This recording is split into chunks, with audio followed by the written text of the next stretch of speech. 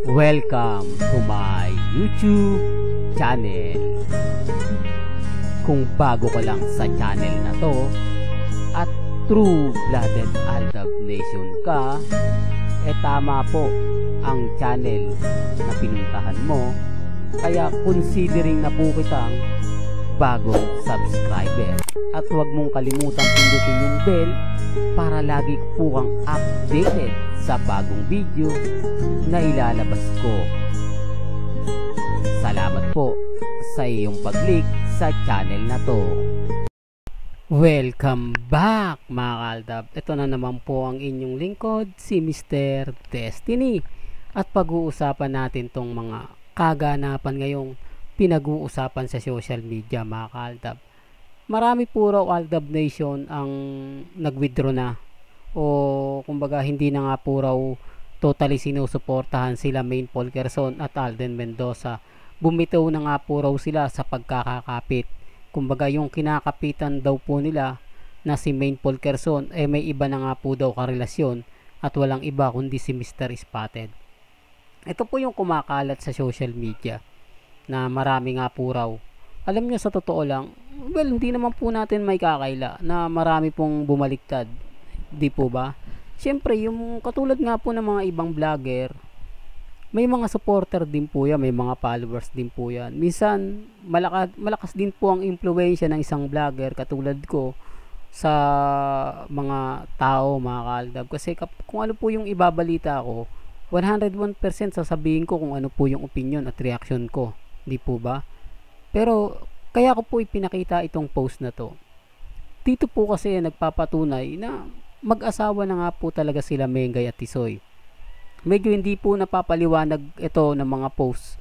Pero gaya po ng nakakaalam at talaga naman pong kumbaga ang dami po kasi ng post mga kaldab kapag ka 1 year na o kaya 2 years bumabalik po yung post mo eh kumbaga makikita mo kumbaga dito pinapaliwanag po ng mga mamis mga titas yung panahon po ng kinasal sila Main Paul Quezon at Alden Mendoza marami po talagang natuwa. Ito po yung mga kaibigan, masasabi natin na BFF nila Mengay at Tisoy na kanya-kanya pong nagpo-post sa social media.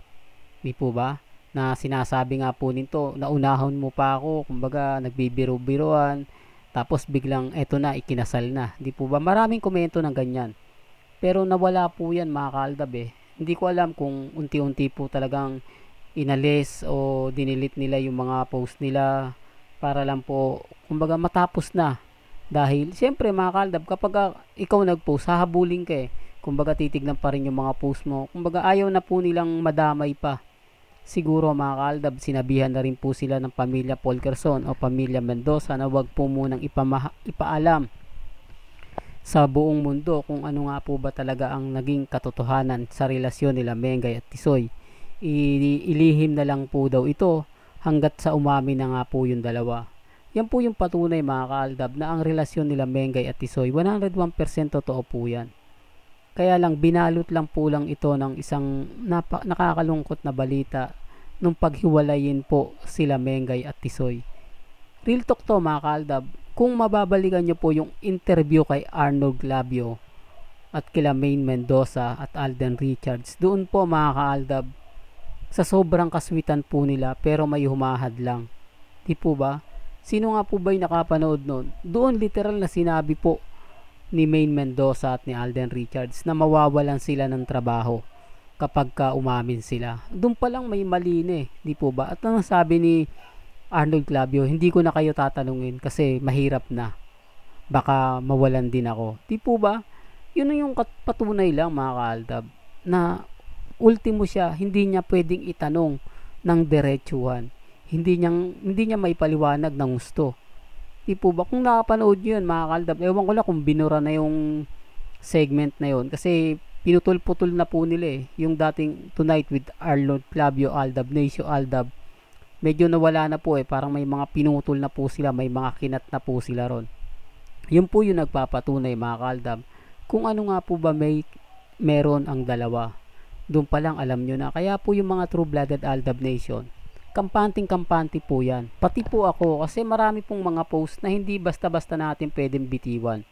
Siguro yung mga nagsabing move on na sila. Mga baguhan lang po yan. O siguro yung iba masasabi natin mga mamis na na brainwash ng gusto. Pero kumbaga kampante pa rin naman yan eh. Hindi mo naman masasabing tuluyan na pong naging ano yan yung ayaw ng Aldab. Baka nagtatampo lang yan. Sabi ko sa inyo, once na dumating yung pa, tamang panahon, Aldab pa rin po yan. Basta't nasa puso nila. Di po ba? Nasasabi lang po siguro nila yan sa panahon na nag na kumbaga naiinis sila, nanlalamya sila, nanlalata sila, wala silang ibang matanong, wala silang masabihan ng kanilang problema patungkol po sa Aldab, kung sino yung tatanungin nila, kung sino yung kakausapin nila. Di po ba nangyayari yan eh? Kasi halimbawa mapanood mo yung video, sino yung kakausapin mo, sino yung tatanungin mo. Di po ba na kung totoo ba yan o hindi. Doon po yung mga nagkakaroon ng tampo, kulamengay at tisoy tapos magpo-post na lang, magsasalita ng medyo hindi maganda. Yun ay dala lang po ng silakbo ng puso.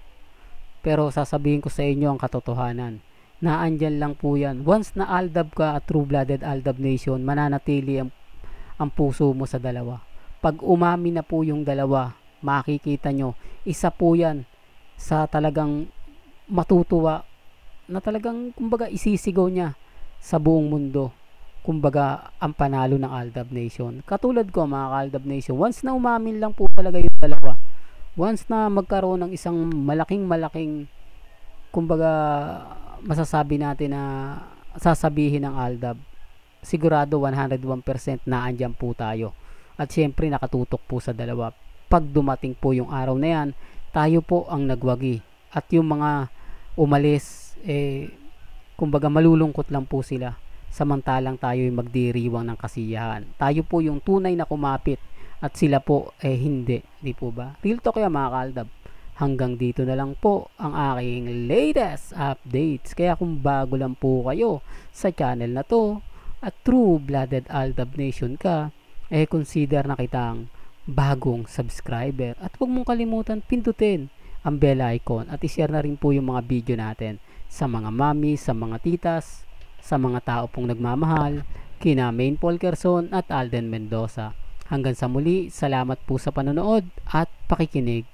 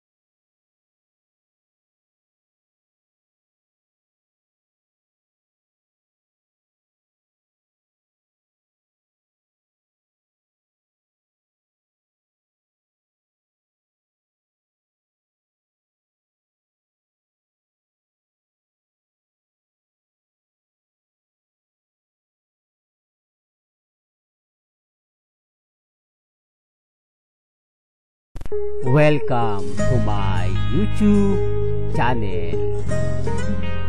Kung bago ka lang sa channel na to at true-blooded Aldab Nation ka, eh tama po ang channel na pinuntahan mo.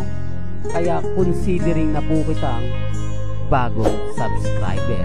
At huwag mong kalimutan pindutin yung bell para lagi po kang updated sa bagong video na ilalabas ko. Salamat po sa iyong pag-click sa channel na to.